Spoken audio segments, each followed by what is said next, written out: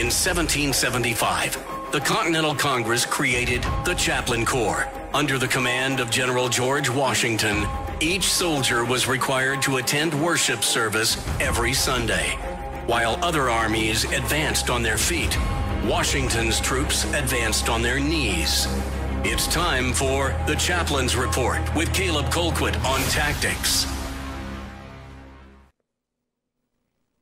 Our chaplain's report today comes from the book of 1 Samuel, chapter 16, and we are continuing our series in 1 Samuel. So you may recall that the previous chapter that we were covering that Saul disobeyed God and Samuel essentially told Saul that well, because of this, because of your sin, that your crown and your throne are going to be taken away from you, God is going to put it to somebody that is more fit to be the king of Israel, more fit to lead his people than you are. And Saul, of course, is understandably very distraught about this, but this is how Samuel's reaction goes and, and the aftermath of those happenings. If you'll look in 1 Samuel 16, verses 1 through 3. Now the Lord said to Samuel, How long will you grieve over Saul? Since I have rejected him from being king over Israel, fill your horn with oil and go. I will send you to Jesse the Bethlehemite for I have selected a king for myself among his sons. But Samuel said, How can I go? When Saul hears of it, he will kill me. And the Lord said, Take a heifer with you, and say, I have come to sacrifice to the Lord. You shall invite Jesse to the sacrifice, and I will show you what you shall do. And you shall anoint for me the one whom I designate to you. Now, this is a really interesting scenario because, with the exception of maybe one or two other passages, there's almost never a time where deception is actually viewed in a positive light in the Bible. But, first of all, is this really deception? It's definitely pretense. I, I think that you couldn't make the argument that it's not pretense that what God instructs Samuel to do is to go and make offering. But there is pretense there. Like he's actually going to anoint the new king, but in order to safeguard his life, God comes up with this plan, which is very reasonable, is to just take a sacrifice with you, and if anybody asks, tell them that you're going there to sacrifice to God, which is also true. He does actually engage in sacrifice. He does take the the heifer with him to go and offer up to God. But it's just, it's really interesting to me that this is one of the very few times in Scripture where deception is painted almost in a positive light. Like it's something that is done to protect Samuel's life here. And I don't know, like it's it's an odd story to have to deal with and to have to think about, but it does show that there are some extenuating circumstances where I think that even if it's not straight up, you know, untruthfulness, because Samuel's not untruthful here, but he is certainly sort of hiding the ball a little bit. I think that that's certainly safe to say. But I also want to point to a couple of other moral quandaries that we can pick out of this particular biblical story. First of all, Lord, the Lord and Samuel have both grieved quite a bit over Saul. We've seen this in multiple parts of the story that we've covered already that they are upset that Saul has not turned out the way that he should have, that he has, in some respects, been a good king, but especially recently, his behavior has not been in synchronization with the will of God. He has openly subverted God's will and rebelled against him, acting in disobedience. And it's interesting to me that as sorrowful as God is, it seems like Samuel's more so, or at the very least, it's lingering longer with Samuel. Now, think about this. Who had more right to be upset at Saul? I mean, it wasn't Samuel's words that Saul disobeyed, it was God's. It wasn't Samuel's will that is subverted by Saul going rogue and doing his own thing, it's God's. It wasn't Samuel that chose Saul, God did. And so, if we were to look at this sort of you know, from the, the meta level here, sort of at the 20,000 foot level, looking down at the situation, it's easy to say, well, shouldn't God be the one that's having a harder time getting over this? But it's not. God's the one that actually looks down to Samuel and says, How long are you going to grieve after Saul? Let's move along. You go anoint the new king. It's interesting that God's the one pushing him along and telling him to get over it. And I think that that's a pretty human thing, actually. I mean, there are times, and, and this is certainly not the only time this happens in the scripture, there are certain times where God has to tell a person, even somebody as faithful as Samuel, even somebody that is in tune with God's will as Samuel is, being a prophet, God's literal mouthpiece, a representative for him here on earth, he's saying, okay, that's enough grieving time. Let's go ahead and move on to different things. Now, God grieves too, but he's saying at a certain point, grief is no longer appropriate.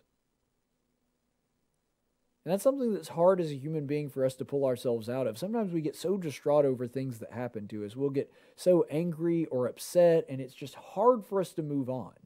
But God, an eternal being, He has the ultimate foresight and also the ultimate level of perception, the ultimate perspective on everything that's going on. And I think that that's one of the reasons that it's much easier for God. And uh, maybe easy is not the right word, but it certainly gives him the perspective he needs to say, all right, now it's time to move on to something else. It's, it's time that we were no longer focused on our grief.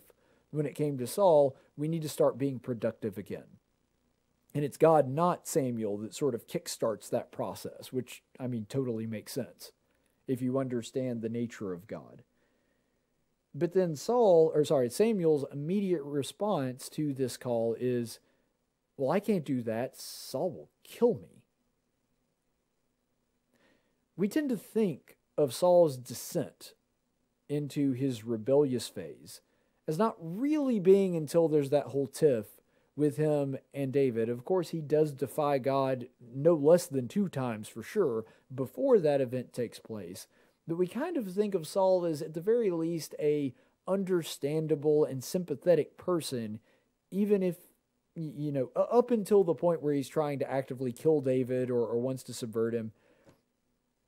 But here we see Saul seemingly willing to kill Samuel to protect his throne.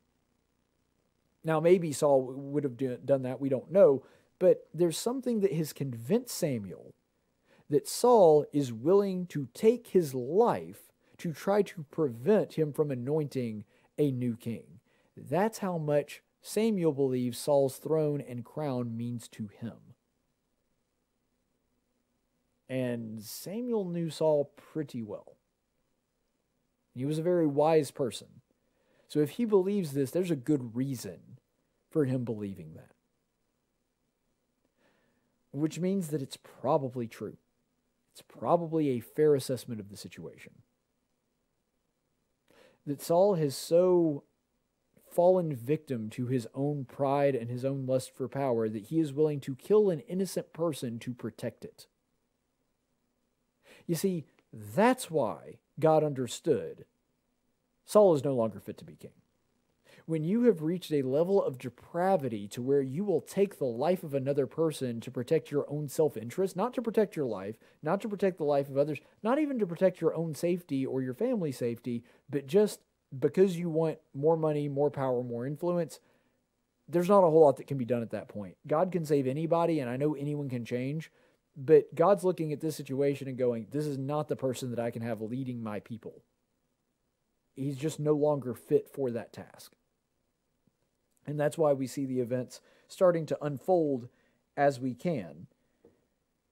And it's interesting that God makes sure that Samuel understands he's in charge of this process. The battle is the Lord's.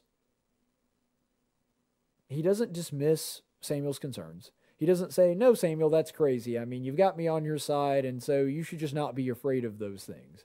And it's not what he does. He, he plays it clever, he plays it kind of close to the chest. And what the Lord does is he says, I'm going to be the one to pick the new king. You know that, right? I will designate who among the sons of Jesse will be my chosen to lead Israel. I'm at the center of that process, not you. And Samuel wasn't being, you know, presumptuous on that. He's the one that chose Saul, and he's the one that's going to choose David. I think Samuel would come to expect that, but God is essentially letting Samuel know, or, or maybe even letting the readers know, you know, several thousand years after these events take place, that God is going to be in control of this process. And that's really the core message at the middle of all of this and the, the narrative that we're about to see unfold this drama between King Saul and King David. The core of that struggle is that God's in command regardless. God was in command when Saul was king, God is in command when David is king. And if he had wanted David to be on the throne earlier, he would have been. This is all something that God has orchestrated, that it's all according to God's plan, that He is the mastermind behind all of this. And God is instrumental in that process. And frankly, I take a great deal of comfort in that. Because especially as somebody who does the news and, and pays attention to world events on a daily basis, it's easy to get flustered. It's easy to look at this and go, ah, everything's just falling around, uh, falling down around us. It's going to be so bad. There's there's going to be no recovery from any of this. Uh, and then God can come in and remind us, hey, I'm in control. If there is a person who is a leader in your country or there's some kind of movement going on, whatever, ultimately nothing is happening without me taking notice of it and taking proactive steps to make things go my way in the future. I mean, to the outside observer that doesn't have all this background of what God's doing to set this things up, this situation looks really, really bad. Having somebody that is willing to kill another human being to protect his power and influence in the country, having that person as the leader of your country sitting on the throne, that's a bad, bad situation. But why is it okay and why does everything turn out all right in the end and they actually wind up with a much better king than Saul anyway? Because God's at the core of it, because he's the one protecting Israel. And he'll do the same thing for our country.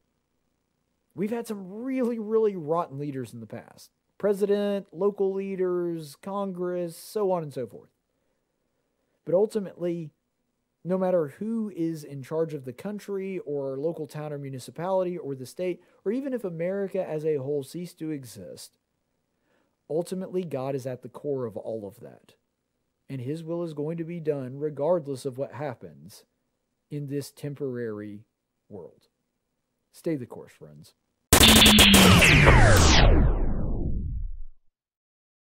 Studies show that YouTube videos featuring attractive women get far more likes and subscriptions than ones that don't. This is especially true if she's exotic looking. Luckily, in the modern era, there's an easy way to work around this. You see, I identify as a very attractive Hispanic woman, so now you have to like this video and subscribe to my channel, otherwise, you're just an evil, heartless Nazi that hates brave, liberated, beautiful Latina women like me. Checkmate, woke brigade.